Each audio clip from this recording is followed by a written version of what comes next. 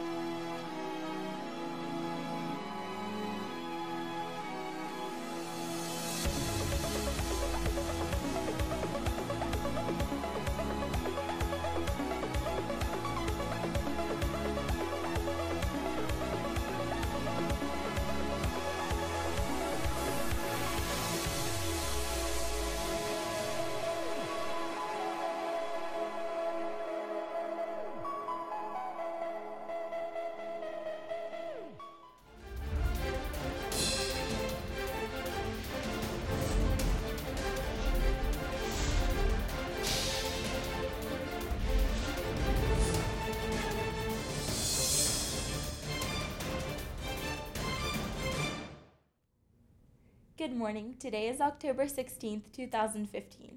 This is your WBHS News, and I'm Sydney Close. The National Honor Society is selling 16 ounce Bridgeport Bulldog drinking glasses. The cost of each glass is $8.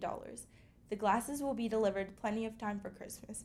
Please see any NHS member or Mr. Swatton to order. And I'm Hannah Petrosky.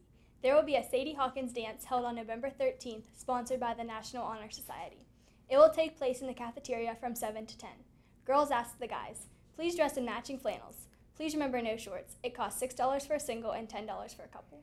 Ladies, if you have lost something at the homecoming dance last weekend, please see Mrs. Decker. She may have it. If you have not turned in your Sarris order form yet, please turn it in as soon as possible. Jets team members are asked to turn in their candle order forms. There are also a few extra spirit shirts that can be purchased for $10. Please see Mrs. Canner to buy one.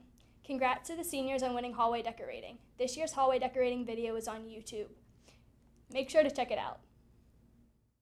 Hi, I'm Hannah Petrosky with your WBHS News, and I had an opportunity to sit down with Mr. Shetler and ask him a few questions. What academic achievements from our Bridgeport students have you been most impressed with? I had a chance to look at our third grade achievement results, and uh, 92% of our students are proficient, which really says a lot about how well those students will do going forward. And we really owe a lot of that to our, our teachers, our staff, our parents um, for really supporting those students as they learn to read.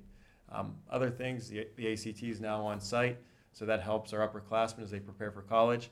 And then one of the things I think is really neat is this newscast and the production value that you put on. You know, Mr. Davenport's class, Miss Porter's class, and, and the students do an awesome job, and the quality is really fantastic. Are there any plans to make any improvements to the building or the grounds? Well, one thing that we have done, I don't know if you've seen, we've, we've redone the parking lot, and we have that sealed for winter, so it holds up better this winter. And another thing that we have in place is the, um, the Women's Club of Bridgeport. They helped us buy um, new flags for the light poles outside. So we wanted to get those replaced. If you've noticed, they're kind of kind of falling apart and there's mold growing on them. And those were actually put in place by student council seven years ago when the building was, was opened. So we wanted to keep that tradition alive, so we have those in place, and now it's just a matter of getting them up. I hear that the elementary school students are taking a pledge to prevent bullying. What can you tell me about that? They had an opportunity to go to a presentation at the Ohio Valley Mall, and those materials and those um, those lessons they learned are going to be brought back to the school, and um, the teachers and Mrs. Hall will teach some lessons in the classroom to um, make students aware what bullying is and how to prevent it. And at, at Bridgeport School, we're a pre-K through 12 building, so I believe that we can set a good example from the top down to where, you know, if the high school students are treating each other the right way and with respect, and if they speak to the young ones they see in the hallway, um, then really we're creating a family-like atmosphere that goes from, you know, the seniors all the way down to the little ones in pre-K. Well, thank you for taking time out of your busy schedule to answer a few of my questions. No problem. I enjoyed it. I feel like I'm on the Sports Center set. I'm ready to uh, go through the Sports Center top 10. It was a lot of fun. Thank you, Hannah. And now I'm Jace Johnston with your sports. Tomorrow at 1, the football team plays Lucas at home. Come out and support the dogs. I'm Sabria Butler at Bridgeport's Homecoming 2015, asking people how they're enjoying their night. I'm here with Bridgeport freshman John Stark. How are you enjoying your night so far? Um, it's been everything I expected and more. They played like four Fetty Wap songs, been whipping it all night. This will definitely be a night I remember.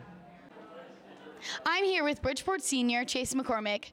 How do you feel about this being your last homecoming? How I feel about this being my last homecoming? I feel like I'm gonna dance so hard this place is gonna go up in flames.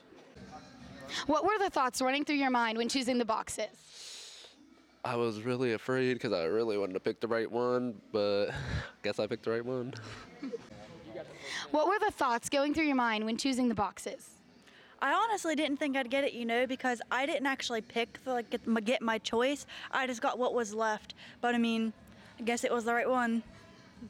And I'm McKenna Beal with your weather. Today's weather will be partly cloudy with a high of 56 and a low of 37.